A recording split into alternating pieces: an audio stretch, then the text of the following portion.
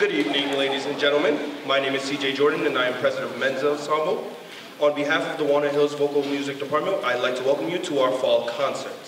At this point, please silence all cell phones and other noise-making devices so that they do not disrupt the performance. If you have little ones with you here tonight who get loud or fussy, we ask that you please take them to the lobby to calm down so as to not disturb other patrons. Also, please do not use flash photography as it is very distracting to other audience members as well as the performers. Lastly, if you should need to leave the auditorium for any reason during the performance, we ask that you do so in between songs. And now sit back and enjoy an autumn evening of music.